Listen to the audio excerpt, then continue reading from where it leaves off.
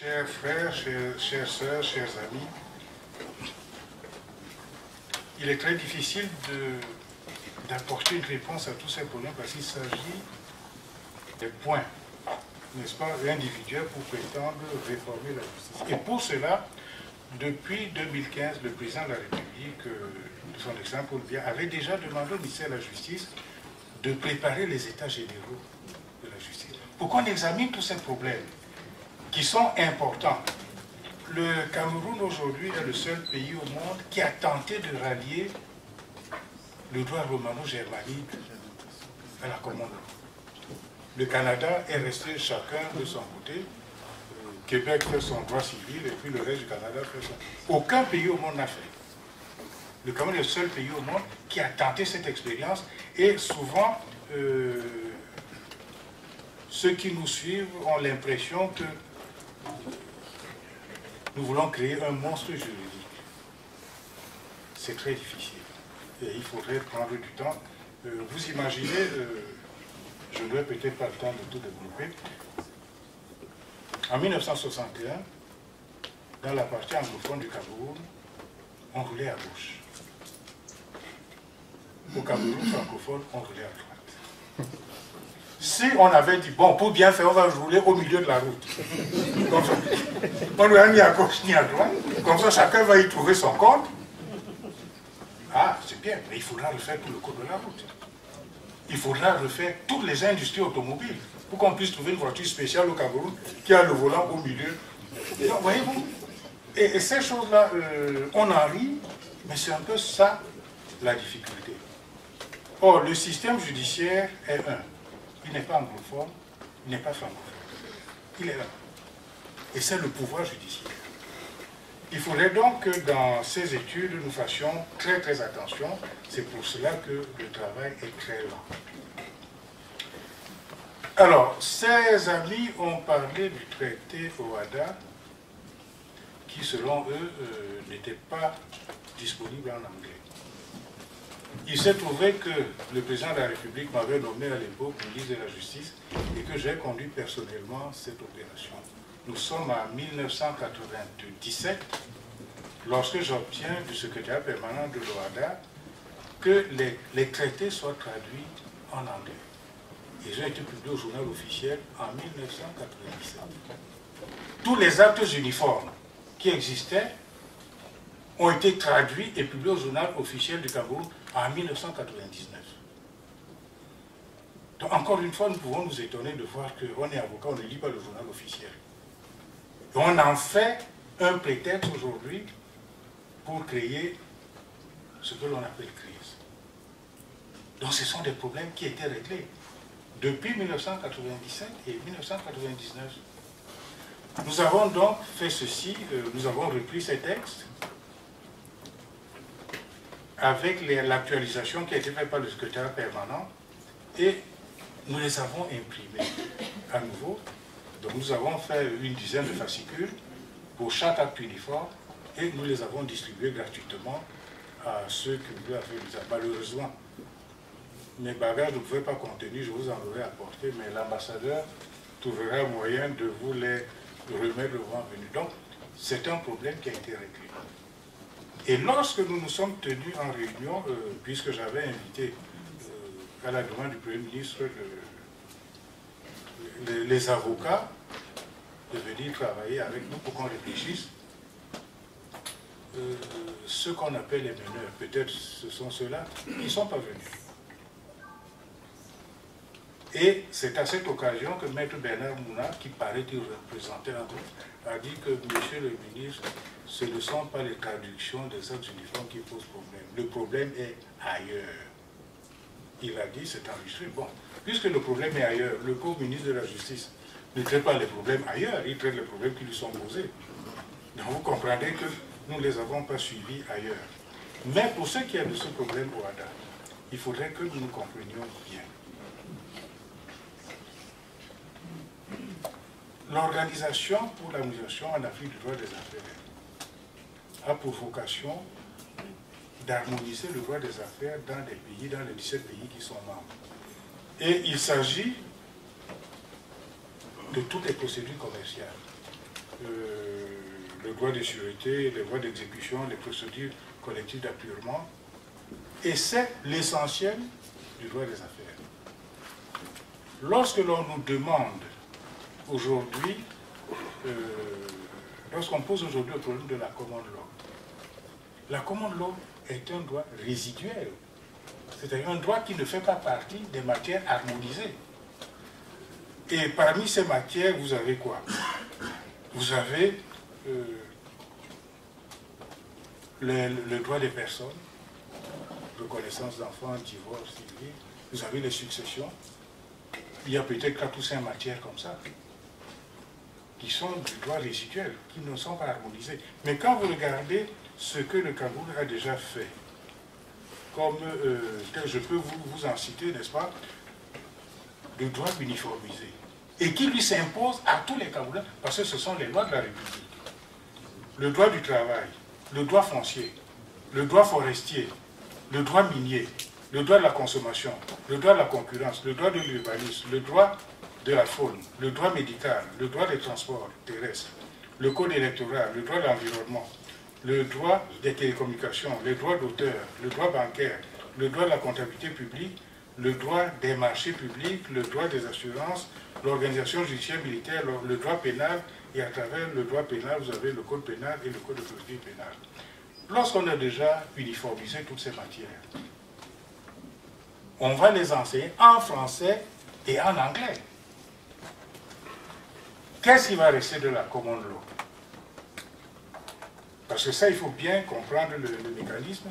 Le chef d'État a demandé que l'on crée au sein de la Cour suprême une section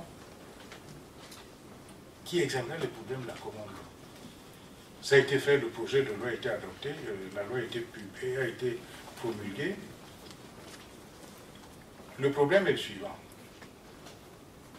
La Cour suprême va connaître dans une chambre, dans une section particulière qui se situe à l'intérieur de la chambre judiciaire des problèmes relatifs à la commande law. Mais cela implique un certain nombre de choses. Cela implique premièrement que si vous avez un problème de succession. La succession rentre dans la partie résiduelle du droit, la common law. Mais si la succession porte sur un immeuble, le droit applicable en matière d'immeuble, c'est la localisation de l'immeuble. Vous êtes à Douala. Qu'est-ce qu'on va faire? Il faut appliquer la loi de l'emplacement de l'immeuble, il faut appliquer la loi des parties. Donc, en créant donc dans la Cour suprême cette section de la common law, et en descendant pour créer au sein de chaque juridiction une section de la common law, cela permettra de faire en sorte que si vous avez un litige de succession immobilière à Douala et que vous êtes tous les deux engagés dans une procédure de common law, vous pouvez statuer à Douala, parce qu'à Douala, on pourra mettre un tribunal, une collégialité qui va connaître cette affaire et qui va permettre d'aller à la Cour d'appel et à la Cour suprême, toujours en traitant la matière spécifique. Sinon, on est dans un, vide juridique. Donc, c'est quelque chose d'extrêmement important euh, qui a été fait euh, par cette loi. Ce qui fait donc, j'anticipe, puisque je ne peux plus répondre à toutes les questions telles qu'elles posées, lorsque certains avocats disent oh, il faut que les, magistrats anglophones aient tous travaillé dans le nord-est et dans le sud-ouest.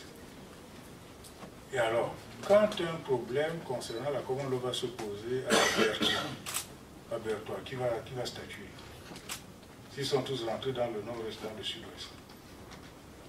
Donc c'est tout simplement une question de temps et ces problèmes-là vont être réglés. Pourquoi les magistrats, les magistrats anglophones, originaires du nord-ouest et du sud-ouest, ne peuvent pas travailler tous dans le nord et dans le sud-ouest? Il y a un problème de carrière. Prenons le tribunal de combat. C'est un tribunal de première classe ou de deuxième classe, je plus. Le président tribunal de combat a une promotion, il passe à la haute hiérarchie. Il peut plus être président tribunal de combat. puisque son grade est supérieur au poste. Mais la cour d'appel est déjà occupée par un magistrat qu'on ne va pas bouger parce qu'un plus jeune a eu une promotion.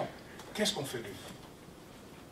Nous sommes obligés de lui trouver un poste de haute hiérarchie en dehors du nord-ouest et du sud-ouest pour qu'il puisse travailler. Sinon, on arrive à la situation suivante. On attend que tous les magistrats les plus gradés meurent pour permettre de faire une promotion aux plus jeunes. Ou alors, on ne fait plus de promotion du tout aux jeunes magistrats. On fait une promotion du tout aux jeunes magistrats. Donc, quand les gens abordent ces problèmes avec tant de légèreté, on se demande. Euh, vous avez suivi qui voulait la nomination des avocats anglophones au sein du Conseil supérieur de la magistrature. Ce n'est pas entre deux pneus qu'on brûle qu'on décide de ces choses-là. Le Conseil supérieur de la magistrature est un organisme constitutionnel. Il y a une loi qui a organisé le Conseil supérieur de la magistrature. Il est présidé par le chef de l'État lui-même. Bon, alors, entre deux gens qui, qui font comme ils ont fait là, vous voulez entrer au Conseil supérieur de la magistrature. Mais ce n'est pas le marché central. je crois que je ne vais pas être méchant en disant qu'il y a une part d'ignorance, n'est-ce pas, quand on pose certains problèmes sérieux avec tant de légèreté. Donc voilà un peu euh, comment se pose ce problème de la, de la Cour suprême. Et il faudrait être sûr que euh, le président de la République va avancer, parce qu'il nous a demandé d'apporter des solutions. Ces solutions, ce n'est pas pour faire plaisir aux anglophones parce que c'est depuis 2015 qu'il a demandé que les États généraux siègent. Et ces travaux sont en, cours en, train d'être finalisés. Mais il y a eu une urgence, on a apporté une solution ponctuelle à un problème qui s'est posé. Voilà pourquoi euh, nous sommes retrouvés là. Euh, certains pensaient que c'était la précipitation. Ce n'est pas la précipitation. Maintenant, pour ce qui est de l'ENAM, parce que c'est un problème intéressant aussi, on a observé que dans les enseignements, prenons le cas euh, du droit public, on n'enseigne pas le droit public dans les universités anglophones. C'est un, problème de système. C'est fait donc quand on veut recruter des magistrats en droit public pour occuper les postes des tribunaux administratifs, il y a un problème. C'est pour ça que euh, vous avez suivi, n'est-ce pas, le président public a demandé qu'on crée des cours de droit public dans les universités du Nord-Ouest et du Sud-Ouest. Et ensuite, ça c'est une euh, situation euh, ponctuelle.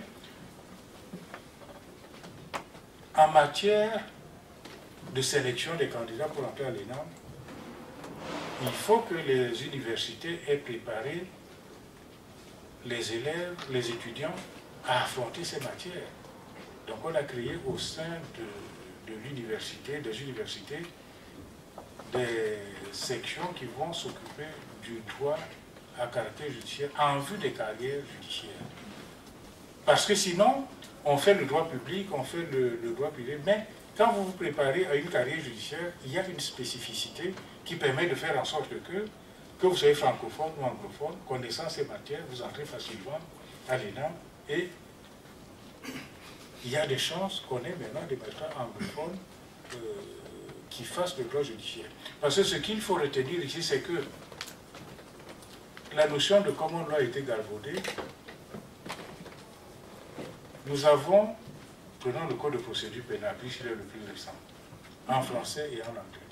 Et on l'enseigne en français et en anglais. Mais ce n'est pas la common law. L'OADA, les, les tests OADA, n'est-ce pas, du passif, c'est un texte de portée internationale qu'on applique partout dans 17 pays africains. Ce n'est pas la common law. Mais c'est un droit qui est appliqué parce que l'harmonisation du droit ou l'uniformisation du droit aujourd'hui est irréversible. Nous ne pouvons pas rester retourner au Moyen Âge au motif que nous avons une communauté qui ne veut pas s'arriver à la modernité. Le Cameroun avance. Nous voulons que vous, par exemple, qui êtes ici, lorsque vous voulez parler des problèmes économique ou que sais-je encore, ou des problèmes d'investissement et tout ça, que vous soyez en mesure d'apporter à vos euh, partenaires un droit moderne qui est camerounais. Et ce droit est vous. Et c'est ce travail qui est donc en train d'être fait. euh, vous avez parlé, monsieur le directeur, du recrutement des enseignants anglophones à l'ENAM. C'est vrai.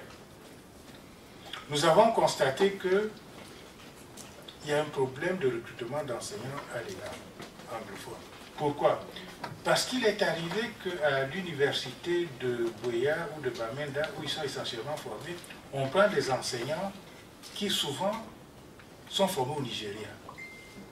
Donc ils connaissent le droit nigérian, mais pas forcément le droit camerounais. Ils enseignent ce droit-là. Ce qui fait que les élèves ou les étudiants qui sortent de ces universités sont bien formés, ils ont la... mais ils ne sont pas adaptés à la réalité judiciaire de notre pays. Donc, il faut donc corriger cela. Et le ministre de la fonction publique, qui est en charge de l'ENAM, a, engagé euh, une sélection de professeurs pour que l'ENAM soit doté de professeurs également qui puissent enseigner le droit judiciaire camerounais. Euh, vraiment, je suis obligé de prendre des choses comme ça parce que sinon on va rester jusqu'au matin. Le, les, avocats du nord-ouest et du sud-ouest ont euh, une fixation sur la fonction de notaire. Parce que le notaire dans le nord et dans le sud-ouest exerce la fonction de notaire. C'est une mesure transitoire. Il voudrait que cette mesure soit supprimée. Le président de la République a demandé qu'on laisse la mesure transitoire subsister. Pour une raison toute simple, elle ne peut être que transitoire la fonction d'avocat est différente de la fonction de notaire. Donc on ne peut pas demander à certains notaires, à certains avocats, parce que dans le nord et dans le sud-est, d'être notaire. Il y a des avocats anglophones à Douala, il y a des avocats anglophones à Yaoundé, il y a des avocats anglophones à Garoua. Ils ne revendiquent pas la fonction de notaire. Et même euh, les notaires qui sont dans le nord-ouest, dans le sud, ne revendiquent pas la fonction d'avocat. Donc, c'est un problème absurde. Il y a des lois, même en Angleterre, ce sont des fonctions distinctes. Donc c'est un problème, mais le chef de l'État, pour des raisons d'apaisement, a demandé qu'on laisse cela en attendant que euh, les choses mûrissent. Bon, maintenant,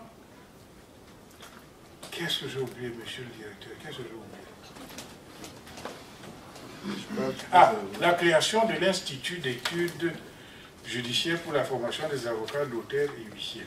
Nous avons observé qu'il y a beaucoup de difficultés aujourd'hui sur la qualification de certains avocats, de certains juges, de certains notaires, parce que le mode de, de formation est entièrement dévolu à leur père. Donc, les avocats sont formés dans les cabinets d'avocats, les juges sont formés dans les études d'huissier, les notaires sont formés dans les études de notaire, et le contrôle est difficile. Le contrôle de niveau et de qualité. Donc pour euh, relever le niveau, le chef de l'État a demandé que cette étude soit rapidement euh, terminée. Vous savez, il n'y a pas une bonne justice quand il n'y a pas de bons avocats. Et quand une décision est rendue, il faut qu'elle soit appliquée une décision ne peut pas être bien appliquée si les juges ne savent pas ce qu'ils doivent faire. Si les actes qui engagent les partis sont mal rédigés par des notaires, il n'y aura que des problèmes. Donc, cette étude-là, euh, elle est en train d'être faite par les huissiers, les notaires, les avocats. Nous avons déjà eu trois séances de travail là-dessus pour essayer de concevoir la matrice de ce document. Bon, alors, moi, je ne sais pas, est-ce que nous avons encore une minute? Il faut pas encore nous chasse ici. Non, non, non, je n'ai pas la force. Nous pouvons y aller, monsieur le ministre d'État, parce qu'avec votre permission, quand même, je souhaiterais quand même qu'il y ait quelques questions. Alors, je vais arrêter là, n'est-ce pas euh, Je vais arrêter là pour prendre des questions.